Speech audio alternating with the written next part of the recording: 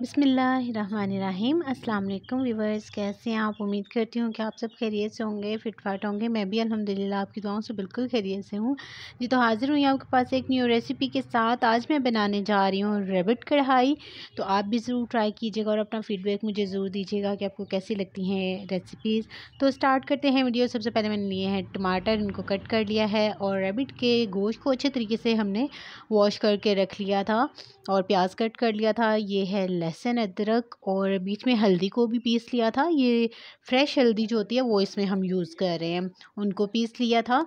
और अब लेंगे एक बर्तन, उसमें ऐड कर देंगे घी।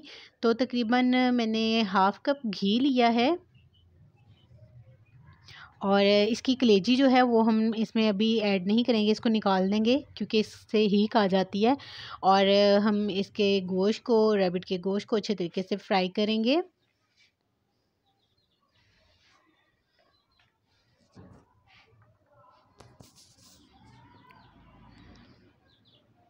हल्का हल्का सा लाइट गोल्डन कलर आने तक जो जो है हम इसको फ्राई करेंगे। ताकि इसकी हीक जो है वो बिल्कुल ख़त्म हो जाए। अब इसमें ऐड कर देंगे प्याज जो हमने कट करके रखे थे।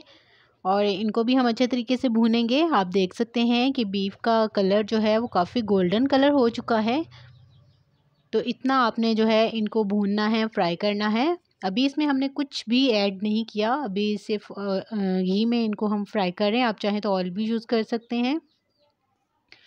अब इसमें मैं ऐड कर रही हूँ दो बड़े साइज़ के टमाटर।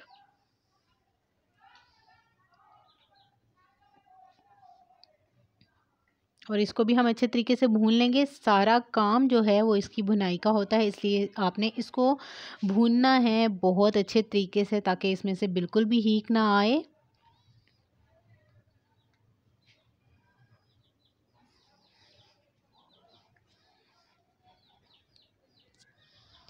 अब इसमें ऐड कर देंगे लहसुन अदरक। हम इसमें यूज़ नहीं करेंगे क्योंकि ये वैसे ही बहुत गर्म होता है, इसकी तासीर बहुत गर्म होती है और ये इस सीज़न में जिन लोगों को सांस की बीमारी होती है, ये उन लोगों के लिए बहुत ही मुफीद होता है। तो ये ज़रूर ट्राई करें और ये वाली हल्दी जो है मैंने उसमें ऐड की थी।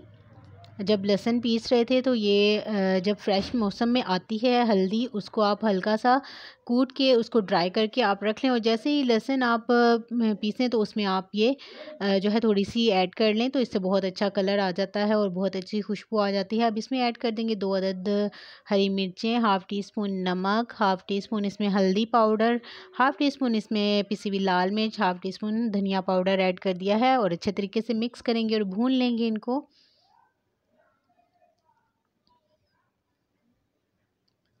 और अब इसमें ऐड कर देंगे पानी। पानी तकरीबन इसमें मैंने दो ग्लास ऐड कर दिया था और इसको गलाने के लिए मैंने प्रेशर कुकर में पाँच मिनट इसमें लगाए थे और फिर ये बहुत अच्छे तरीके से गल गया था।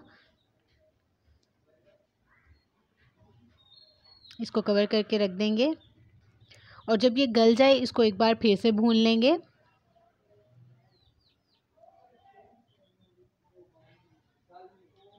अब इसमें इसका पानी भी ड्राई हो जाएगा और अच्छे तरीके से ये भून भून लेंगे हम और ऑयल जब ऊपर आ जाएगा तो तैयार हो जाएगी हमारी रैबिट कढ़ाई। तो आप भी ज़रूर ट्राई कीजिएगा जो चैनल पर नए हैं। तो प्लीज़ चैनल को सब्सक्राइब ज़रूर कीजिएगा और साथ में बेल आइकन को भी प्रेस कीजिएगा ताकि मेरी आने वाली तमाम नई वीडियो की नोटिफिकेशन जो है वो सबसे पहले आपको देखने को मिले। वीडियो अच्छी लगे तो प्लीज़ वीडियो को लाइक ज़रूर किया करें। ये आपकी तरफ़ से हमारे लिए हौसला अफजाई होती है, प्यार होता है, इनाम होता है। तो इसलिए प्लीज़ वीडियो को लाइक ज़रूर किया करें। और वीडियो अच्छी लगे तो शेयर करें अपने फ्रेंड्स के साथ, अपनी फैमिली के साथ।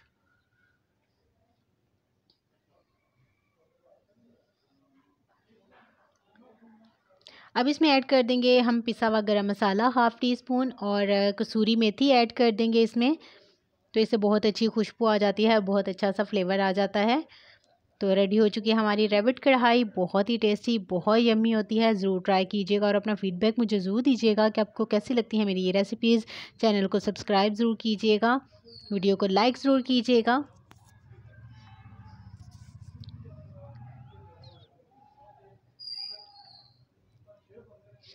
मिलते हैं नेक्स्ट वीडियो में एक नई रेसिपी के साथ। दुआओं में हमेशा याद रखिएगा। थैंक्स फॉर वॉचिंग अल्लाह हाफिज़।